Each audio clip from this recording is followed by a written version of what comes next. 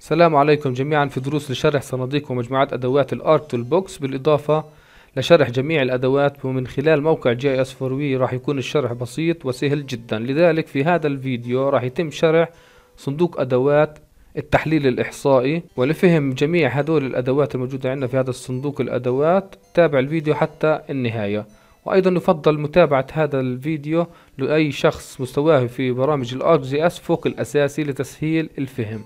بقوم بعمليات تدعم علم الإحصاء من خلال إنشاء معالم وظواهر وميزات جغرافية جديدة بتعبر لنا عن نوع معين من الإحصاء مثل الوسط والوسيط واتجاه النمو العمراني مثلا أو أو شكل دائري أو بيضاوي بيمثل لنا اتجاه معين لمعالم جغرافية معينة.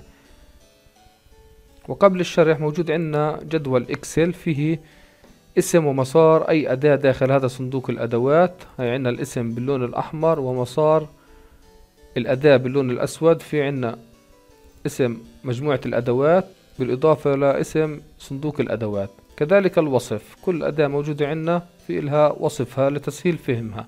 طبعا أي شخص يرغب بالحصول على هذا جدول الإكسل بتعليق أسفل هذا الفيديو راح يتم إرسال رابط من خلاله يتم التنزيل. نبدأ الشرح من خلال فتح أي متصفح. ونكتب اسم الموقع اللي هو GIS for We طبعا هذا الموقع مهم جدا لكل مهتم في النظم المعلومات الجغرافية. في عنا برامج لل ArcGIS وعندنا دورات مستوى مبتدئ ومتوسط متقدم على ال ArcGIS والبرامج طبعا اللي بتدعم ال GIS مثل ال AutoCAD وال Civil 3D وال Global Mapper وال QGIS وال ArcGIS كذلك موجود عندنا قسم خاص في صندوق أدوات ال Arc Box فيه جميع صناديق الأدوات ومجموعات الأدوات. والأدوات جميعا. وأيضا في عنا قسم فيه مقالات ودراسات في نظم المعلومات الجغرافية وعندنا قسم خاص في المعلومات الجغرافية وهذا الموقع موجود في اللغة العربية واللغة الإنجليزية وعدة لغات. لكن الشرح راح يتم من خلال اللغة العربية لتسهيل الفهم.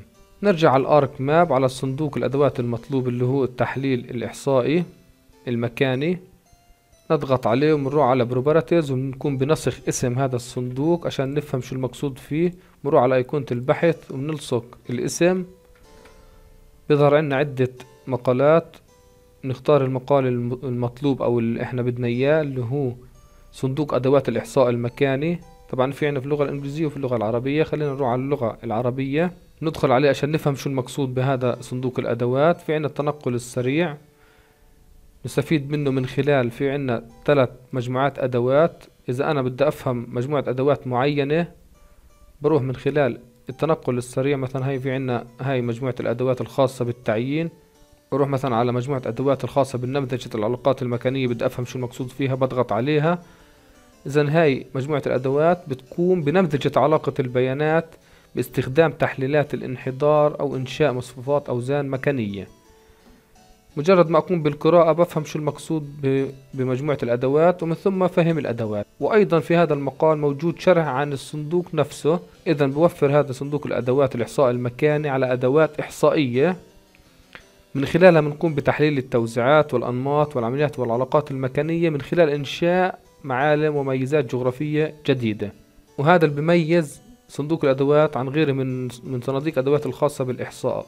كذلك أيضا ممكن تحديد مركز أو الاتجاه الشامل للمعالم والظواهر الجغرافية وتحديد النقاط الساخنة والنقاط الباردة والمتطرفة كل ذلك من خلال صندوق أدوات الإحصاء المكاني. أيضا أي شخص عنده تعليق أو عنده استفسار عن أي إشي بخص هذا المقال من خلال النزول إلى الأسفل في عنا قسم التعليقات بكتابة تعليق راح يتم الرد على أي استفسار. وأيضا قبل البدء بفهم الكلمات المترجمة من الإنجليزي إلى العربي الأفضل أن أقوم بقراءة معاني المصطلحات الإنجليزية اللي تم ترجمتها للغة العربية.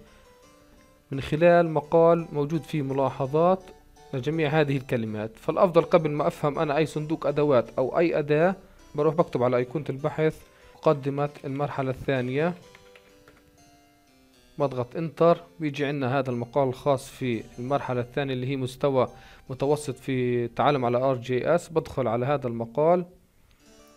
بنزل الأسفل قليلا في عنا ملاحظات. هاي مهم قراءتها كما ذكرت قبل البدء في ترجمة أو قراءة معاني الأدوات. في عندنا مثلا كلمة معلم أو ميز اللي هي ال features المقصود فيها مثلا عندي طبقة طرق فيها عشرين طريق. كل طريق يعتبر معلم جغرافي أو ميزة جغرافية. أو بالإنجليزي features إذا كلمة معلم مقابلها features أيضا فئة الميزة اللي هي ال feature class فئة الميزة المقصود فيها الطبقة داخل قاعدة البيانات الجغرافية والتي تتكون من مجموعة من المعالم. أيضا إذا كانت الطبقة لوحدها بتكون shapefile وإذا كانت داخل قاعدة البيانات feature class مقصود بكلمة السمة أو السمات اللي هي جدول البيانات ال attribute table للمعالم والظواهر الجغرافية وكلمة النقطية مقصود فيها البيانات ال raster يعني ال raster data الصور الجوية والاستشعار عن بعد وطبقات السطح ال surface بالإضافة لطبقات ال TIN وخرائط ال DEM وال slope وغيرها من هذه البيانات اللي هي النقطية. أما البيانات المتجهة اللي هي ال vector data تتمثل على شكل نقطة أو خط أو مضلع أيضا جميع البيانات المضيوفة عندنا في في جدول المحتويات اللي هو ال table of content اللي بتكون موجودة هون أي طبقة إحنا بنستدعيها اسمها طبقة أو layer إذا أنا بعد ما فهمت معاني هدول الكلمات الأساسية بقدر إني أفهم الترجمة من اللغة الإنجليزية إلى العربية لفهم جميع الأدوات. أما بالنسبة للأدوات بننتقل لشرح الأدوات بنروح إحنا بناخد أي أداة على سبيل المثال لو رحنا مثلا على مجموعة الأدوات اللي عندنا هون رحنا مثلا على الاداة اللي اسمها Central Feature بدخل عليها بدي افهم شو المقصود بهاي الأداة. طبعا في عندنا هون وصف كله باللغة الإنجليزية باللغة الإنجليزية كذلك في عندنا صورة بت بتوضح لنا شو المقصود بهاي الأداة. لكن للفهم أكثر أنا بقوم بنسخ هاي الأداة Ctrl C أو كتابتها داخل أيقونة البحث نضغط Enter بختار المقال الخاص بهاي الأداة. طبعا هاي الأداة موجودة عندنا أكثر من أداة في مقال واحد فأنا بدخل على اسم هاي الأداة. من خلال التنقل السريع بختار الأداة اللي بدي إياها. هاي عندنا الأداة هاي عندنا الأداة المطلوبة. كذلك في عندنا أداة تانية أنا بديش إياها أنا بدي الأداة هاي Central Feature بدخل عليها بنقل على هاي الأداة. طبعا في عندنا صورة الأداة. بالإضافة لعنا ست معاملات لازم ندخلهم أو مثلا في عنا المدخل رقم واحد واثنين إجباري اللي عليه إشارة خضراء لو رحنا على ال ArcMap للتوضيح أكثر في عنا هي واحد واثنين ست معاملات. أول معاملين ضروري ندخلهم والمعاملات الثانية ممكن إحنا نتركهم إفتراضية زي ما هي. لكن أنا في حال بدي أفهم شو المقصود بوصف هاي الأداة بالإضافة لأي معامل موجود عندي برجع على المقال بقرأ الوصف. طبعا بتم من خلال هاي الأداة تحديد المعلم الأكثر موقعا مركزيا في فئة المعلم اللي هي ال feature class الخاصة طبعا في النقطة أو الخط أو المضلع يعني عندي مجموعة خطوط بدي أعرف الخط اللي بتوسط هاي مجموعة الخطوط. أيضا إذا أنا في عندي مثلا معامل المسافة أو, أو طريقة المسافة مثلا بدي أفهم شو المقصود بهذا المعامل عشان أعرف كيف أدخل الخيارات اللي فيه.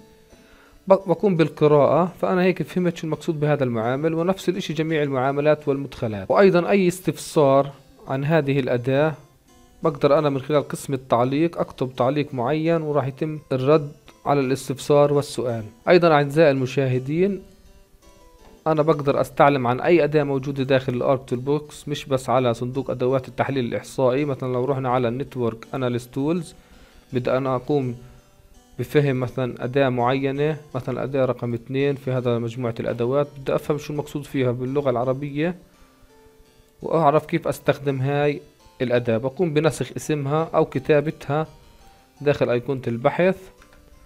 بظهر عندي عدة مقالات.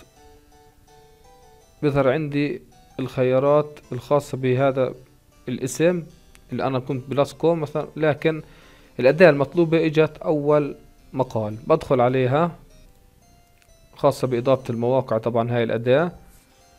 بقدر أنا أشوف الصورة تبعتها. بالإضافة لمسار الوصول لهاي الأداة وكذلك وصف هاي الأداة وهو المهم بكون بقراءته. وأيضا أي معامل أنا مش فاهم بكون بالقراءة عنه. وهيك أنا فهمت طريقة وشرح ووصف هذه الأداة وأي أداة أنا بدي إياها. وأيضا أي استفسار عن هاي الأداة أو أي أداة بكون بالنزول إلى قسم التعليقات وكتابة التعليق المناسب وراح يتم الرد. إذا بهاي الطريقة أنا كنت بفهم وصف وشرح جميع أدوات ال ArcToolbox وبتمنى أنه من الجميع أخذ فكرة عن هذا الموقع اللي بكون بشرح ووصف جميع أدوات ال ArcToolbox وشكرا على المشاهدة. والسلام عليكم.